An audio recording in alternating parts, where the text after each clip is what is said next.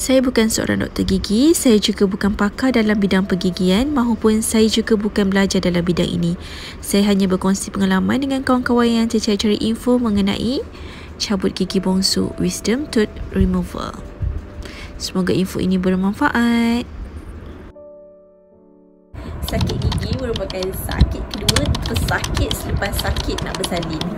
Hai korang, jangan lupa tekan loceng dan subscribe. Subscribe tu gratis ya kawan-kawan.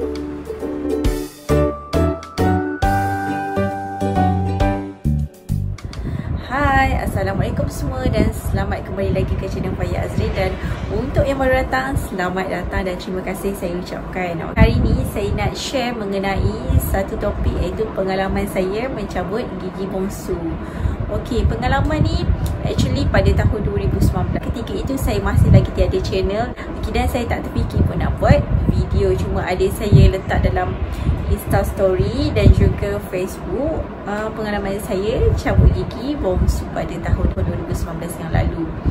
So, dekat dalam video ni ada beberapa part. Okay, part pertama adalah uh, persediaan saya ketika nak cabut gigi. Kedua, proses cabut gigi dan ketiga adalah proses penyembuhan selepas cabut gigi gerham bongsu. Okey. Dan sebelum saya teruskan mengenai tiga poin penting yang saya nak bagi tahu kawan-kawan, nak share dengan kawan-kawan semua, saya nak cerita sikit bibit-bibit permulaan macam mana saya sakit gigi bongsu tu. Okey, sebenarnya gigi bongsu saya tu dah lama sakit, cuma saya tak ambil apa-apa tindakan uh, because of the masa tu bulan puasa. Bulan puasa and then saya pun macam tak nak fikir sangat. Dan saya hanya makan ubatan sakit dan juga makan panadol. Kalau rasa sakit sangat dan juga kumur dengan air garam. Ok masa hari raya confirm kita akan makan macam-macam benda-benda manis right? Seminggu selepas raya saya start sakit gigi dan juga demam. Ok itu merupakan kemuncak kenapa saya nak pergi cabut gigi bongsu saya Okay, dan kenapa juga saya berani nak pergi ke klinik gigi? Saya ni seorang yang sangat-sangat takut nak pergi klinik gigi. Saya pun tak tahu kenapa. Tetapi kalau nak pergi cabut gigi ke Nak pergi buat check gigi ke scaling ke Automatically tangan saya sejuk Kaki saya sejuk. Saya macam jadi takut sangat. Saya pun tak tahu kenapa Okay, so saya tak sure kawan-kawan rasa macam tu Ataupun tak. Okay, dia depends on orang juga right? Disebabkan oleh demam sakit kepala saya pun cakap dengan husband okey jomlah saya dah tak tahan sakit gigi sangat. So kita pergi klinik cakap doktor. Okey dah doktor buat je lah gigi saya ni sebab saya dah tak tahan sakit dah ni. Okey so saya pun dibaringkan dekat atas kerusi tu. Doktor check doktor cakap okey you punya geraham ni ada bengkak dah so ada pecah sikit. And then apa kita kena buat x-ray dulu. Okey itu kali pertama saya buat. Saya tak pernah buat okey mesin ni canggih. Okay, so dia, uh, saya letakkan kepala saya and then dia ada satu macam suruh kita masukkan and then kita kita apa kita punya gigi ni kita buka lah dia x-ray sampai ke belakang ni. Okay, then dia punya mesin tu bergerak kan okay dia punya result keluar dekat PC tu ini adalah gambar x-ray gigi yang telah siap kawan-kawan tengok gigi saya telah rosak dan tumbuhnya sengit. Doktor cakap, kalau kes macam ni, dia kata, hmm, selalunya operation. Ha, dengan operation lah. Operation gigi. Saya macam, okay, operation. Saya macam dah, duduk-duduk-duduk dah. Takut eh. Operation gigi sebab saya banyak membaca dulu sebelum tu. Ya jadi takut tu sebab kita banyak membaca. Bila banyak membaca, kita jadi takut.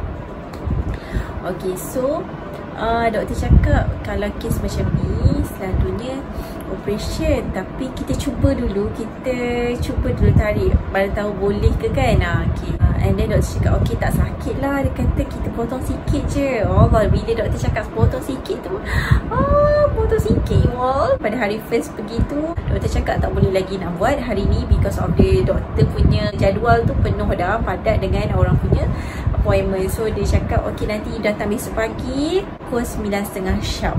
Pada hari kedua proses cabut gigi ataupun proses operation berlaku. Bagi saya satu pil tu okey and then dia bagi saya bius dalam dua bius rasanya okey lepas tu dia dia pun tanya Okey dah rasa kebas belum? Lepas tu saya pun okey dah Dah tak ada rasa apa-apa dah kan?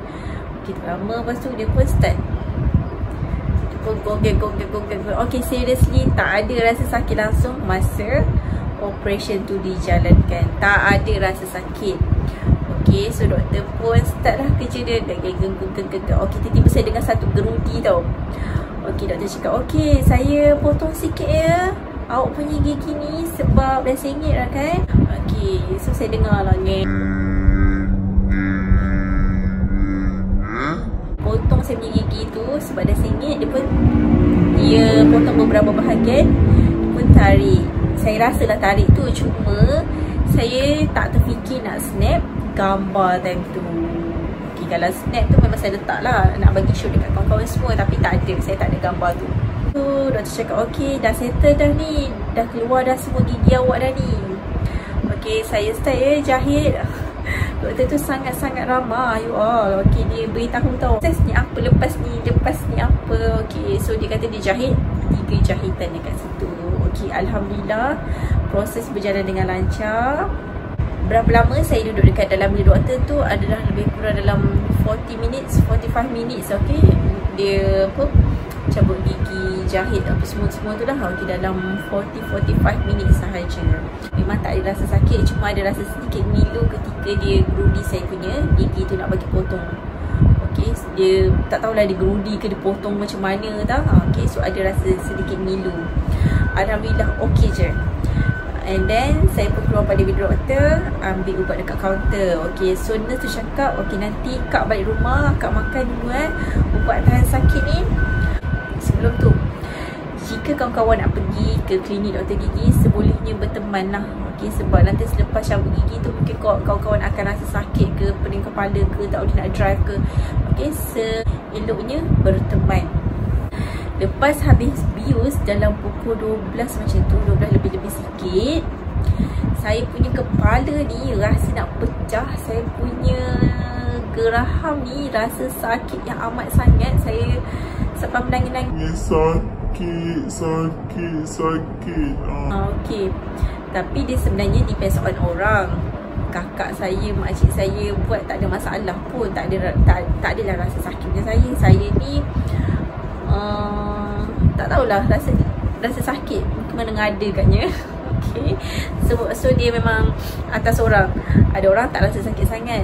Ada orang rasa sakit. Macam saya rasa sakit. And then saya pun cuba tidur uh, Okay Darah saya tu, darah pada gigi berhenti dalam pukul 4 petang Okay So, uh, mengambil masa yang cepat untuk darah tu berhenti Okay Cara nak stopkan darah tu, saya cuma kumur dengan air sejuk Okay Air sejuk, saya kumur dengan air sejuk cuma sebelah-sebelah macam tu.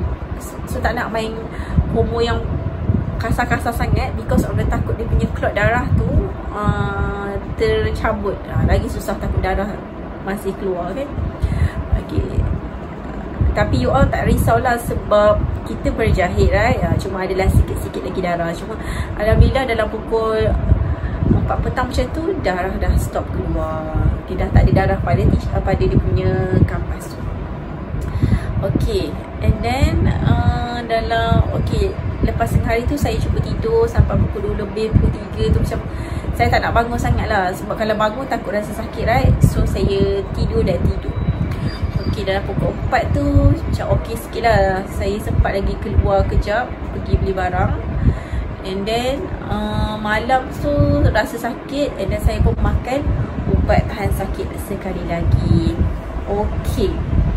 Hari pertama tu petang dah start macam bengkak sikit pipi. Hari kedua, ketiga, keempat, kelima, keenam, ketujuh tu baru reda Ke enam, ketujuh tu baru reda Okay, pada hari kedua tu saya punya pipi tu dah macam bengkak yang amat sangat. Okay, so nanti saya akan letak gambar kat kiri kanan situ. Okay, saya, okay So kawan-kawan boleh tengok eh Bengkak pipi saya daripada hari pertama Hari kedua, ketiga dan seterusnya. Okay kawan-kawan boleh tengok Saya punya pipi bengkak. Okay cara saya nak kurangkan bengkak pada pipi saya tu Saya letak cool fever. Kenapa eh? Sebab saya rasa pipi saya ni panas sangat-sangat Macam demam. Ha, Just pipi je lah dekat bahagian bengkak tu. Rasa macam panas and then saya letak cool fever dan juga saya letak yoko-yoko okay saya letak saya macam okay lagi satu saya letak ni apa? Air batu. Okay air batu tu saya tuam tuam tuam tuam nak bagi dia macam reda sikit dekat bahagian bengkak ni. Malah uh, cabut gigi kot operation so dia bengkak lah. Bagi saya tu normal. Okay sebab ada orang pun macam tu juga. Tapi dia depends on orang. Ada orang tak bengkak pun. Ada orang biasa-biasa je. Tapi saya punya tu bengkak sangat-sangat. Sampai muka pun sampai nak pergi hantar anak sekolah pun rasa macam malu jugalah kan? Uh, dengan di kedai pun dengan pipi bengkak macam tu. Okay, so saya mengambil masa lebih kurang seminggu untuk uh, pipi saya kembali normal Okay, so memang lama jugalah pagi-pagi bangun tidur lah buka lagi dah. Tengok bangun tidur buka lagi dah. Alhamdulillah lah lepas minggu tu baru okey. Dan lepas minggu tu juga saya pergi cabut dia punya jahitan dia. Okay, so cabut jahitan tak lama pun. Baring je Doktor titik. Eh siap dah doktor? Ah dah siap dah doktor cakap. Untuk price saya cabut gigi ni Dekat private clinic Adalah RM480 Dan saya pergi dekat klinik ni Klinik Pergigian Alisa. Okay tak apa nampak. Okay so saya selalu datang dekat klinik ni Untuk buat scaling Untuk buat whitening juga. Dan insyaAllah pada bulan 4 bulan 5 ni Saya akan buat scaling lagi. Untuk scaling harganya tak mahal dalam RM90 sahaja. Okay, so nanti insyaAllah saya akan share share dengan kawan-kawan um, scaling saya dan sebelum ni saya ada share video saya buat whitening gigi. gigi.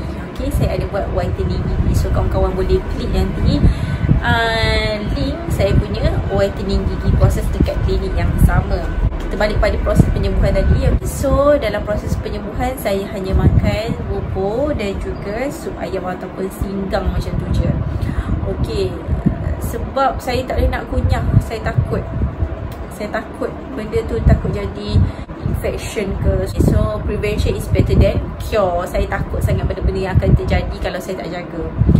Sebab saya takut lagi nak pergi jumpa Lepas macam-macam lagi proses yang akan kena buat.